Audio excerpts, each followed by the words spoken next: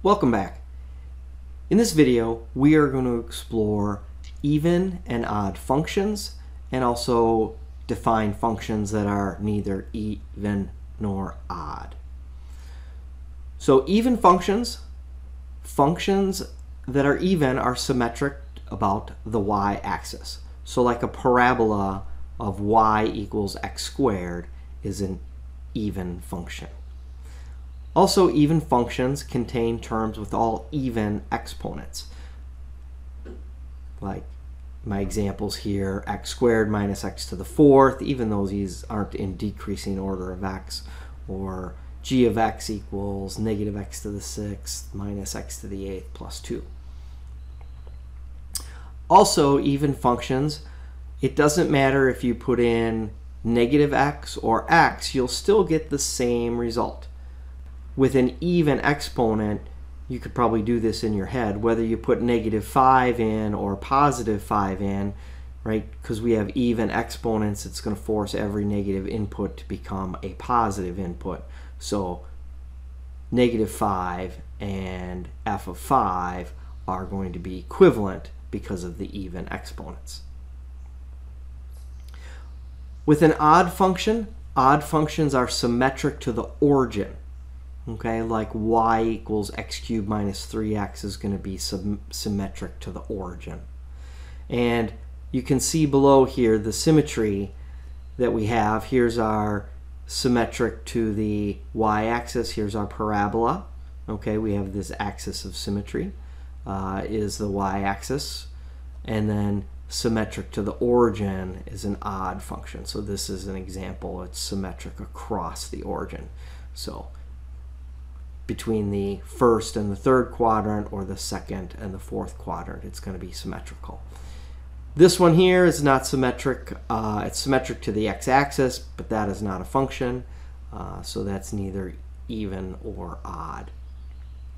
So going back to the odd functions, an odd function is going to contain terms with all odd exponents. Conversely, the even function had all even exponents. Okay, so we have, you know, x cubed and x to the first, and we have x to the fifth and x cubed and x. In an odd function, f of negative x is the equivalent of the opposite of f of x. Um, instead of using negative 5, I'm going to use negative 2 here.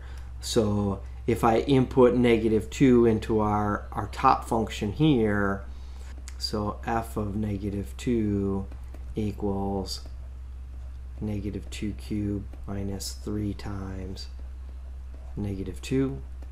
So we have negative 8 plus 6 equals negative 2. That's going to be the same as I put in if I input the opposite of f of 2. So the opposite of 2 cubed minus 3 times 2 is the opposite of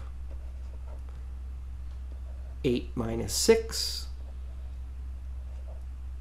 So I get the opposite of 2. So that does check out. So we can see here by using this concept f of negative x equals the opposite of f of x, that is indeed an odd function.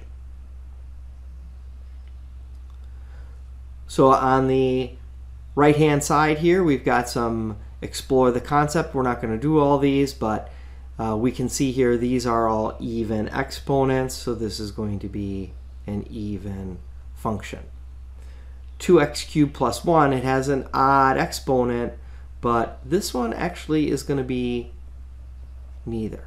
Okay, and we can do that if you want to check, you know, like f of negative 2 does not equal the opposite of uh, f of 2 here. So that one's going to be neither. Uh, the third one, we have all odd exponents, so that's going to be an odd function. The fourth one, these are all even exponents, that's going to be an even function. Here we have a odd and an even. So with x to the fifth and x fourth, so that's going to be neither. And the final one, exponents are 9, 5, 3, and 1. So those are all odd, so that is going to be an odd function. So Neither, in objective 3, neither even nor odd has no symmetry at all, or it might be sy symmetrical about the x-axis. Something like 2x cubed plus 3, as we saw earlier with 2x cubed plus 1, uh, that's going to be neither. Or if we mix our exponents between evens and odds, that is not going to be an even or an odd function. So there's our introduction to even and odd functions, and we'll get some more practice with that when I see you in class.